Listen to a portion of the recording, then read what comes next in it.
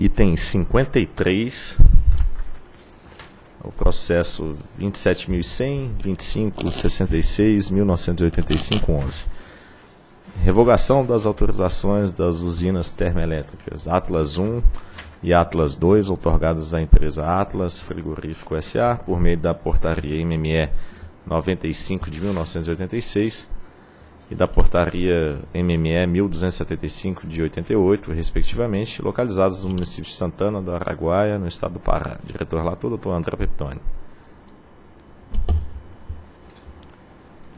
As portarias 95 de 86 e 1275 de 88 regulam, respectivamente, a exploração das centrais termoelétricas UTE Atlas 1 com 530 kW de potência, ou seja, meio mega, e ao TE Atla 2 com 1.728 kW de potência. Essas usinas operam sobre o regime de autoprodução de energia elétrica e ambas são localizadas, como enunciado pelo secretário-geral, em Santana do Araguaia, no estado do Pará. Em 2 de janeiro de 2009, a interessada solicitou a revogação das outorgas e o pleito foi reforçado em 5 de janeiro de 2010. Em 18 de fevereiro de 2010, a SFG, pelo memorando 121, encaminhou à SCG informações visando subsidiar o processo de revogação das outorgas.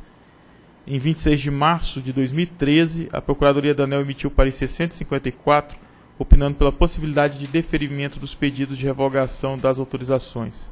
E pela nota técnica 199 de 2013, a SCG atestou a conformidade do pleito com a legislação de regência e manifestou-se favoravelmente à revogação das outorgas.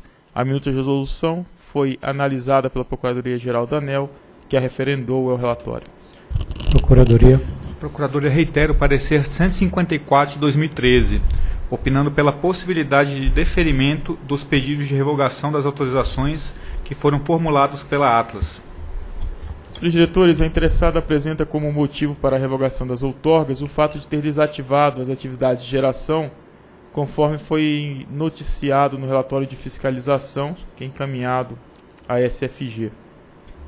No caso aqui para a agência estadual nossa conveniada no Pará, a Arcom.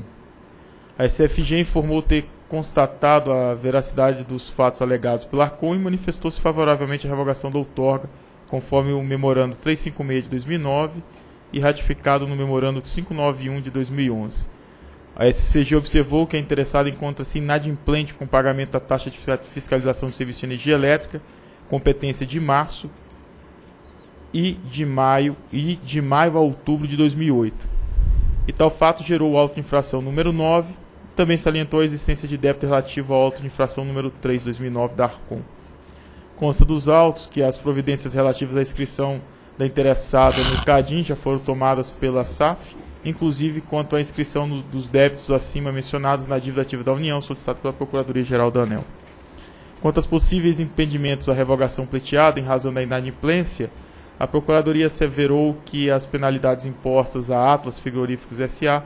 não devem ser levadas em consideração para o não deferimento das revogações, opinando ser possível revogar as autorizações em comento, uma vez que é pacífico o entendimento jurisprudencial do Supremo Tribunal Federal de que a administração pública não pode utilizar de meios que prejudiquem o administrado com a mera finalidade de constrangê-lo ao pagamento de débitos fiscais, consoante os enunciados números 70, 232 e 547 das súmulas do STF.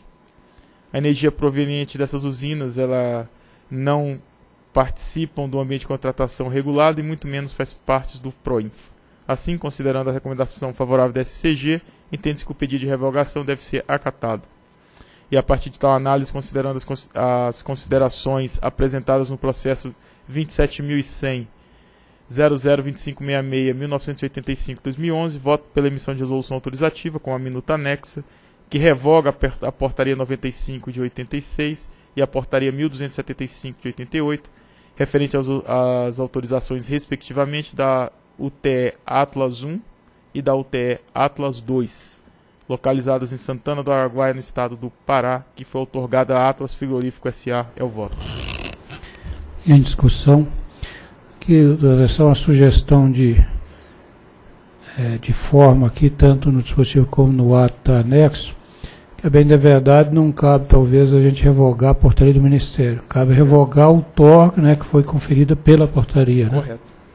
Vou incorporar aqui a sugestão. Ok. Em votação. Voto com o relator.